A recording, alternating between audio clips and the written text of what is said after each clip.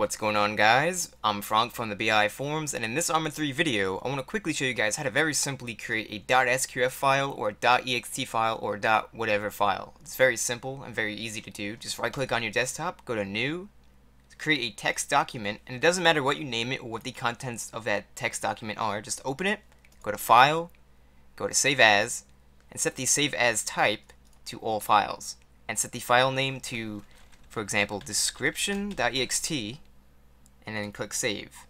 And that will create the description.ext. If you want to create a .sqf, do the same thing. Save it as init player local.sqf. Make sure the save as type is all files. Click save. And now you can see that the file is a different type of file. So you can see the text document has the icon of a .txt and my init player local.sqf and description.ext will be open through Notepad++.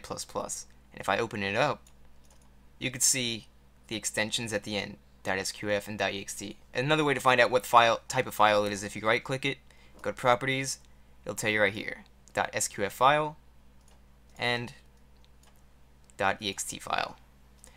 Very easy to do, very quick, very simple. Anyway, hopefully this video is helpful. This is this should be helpful if you have no idea how to create those files, and they're obviously important to know to create description and init files and so on for your missions. So if it was helpful, great.